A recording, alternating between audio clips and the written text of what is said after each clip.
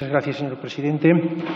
Bueno, pues quiero, en primer lugar, agradecer a todos aquellos grupos que han manifestado su apoyo a la prórroga del decreto de alarma por su posicionamiento.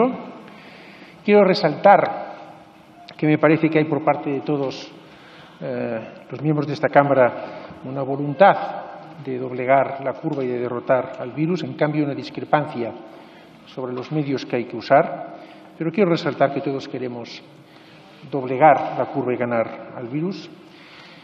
Quiero también poner de manifiesto que quizá de las cosas más relevantes ahora sea trasladar con veracidad, diciendo la verdad, mensajes de la ciudadanía, como se ha hecho por parte de muchos portavoces y he intentado también hacer yo, que estamos en una situación muy preocupante en Europa, no solo en España, en Europa, en una situación muy preocupante, que las próximas semanas, en función de lo que hagamos, las cosas evolucionarán de una manera o de otra y, por tanto, apelar a que se cumplan, se sigan, como se ha venido haciendo de una forma muy, mayoritaria hasta ahora, las recomendaciones de las autoridades eh, sanitarias, que es importante en este sentido ofrecer un marco estable y de certeza para la toma de decisiones eh, a las, a las presidentes y presidentas de las comunidades autónomas y para aquellas formaciones políticas que han manifestado su voluntad de no dar apoyo o su inicial voluntad de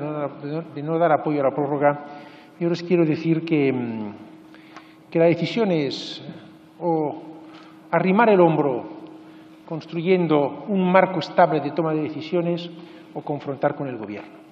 Y ahí, señor Casado, me va a permitir que vuelva a apelar a usted y a su formación política, porque todo lo que ganó en una semana parece que lo pierde en la siguiente.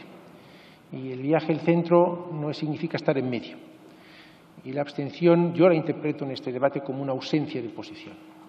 Estamos en la pandemia más importante, en la crisis de emergencia más importante de nuestro país y me dirijo a usted especialmente como principal grupo de la oposición, pero lo hago extensivo a aquellos que han manifestado su abstención para que reconsideren y den apoyo a una medida absolutamente necesaria para la toma de decisiones en los próximos, meses.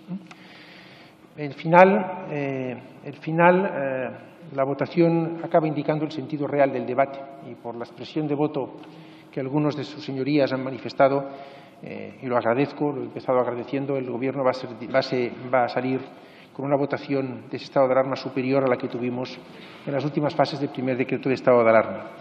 No se queden al margen de esto. Súmense a esto.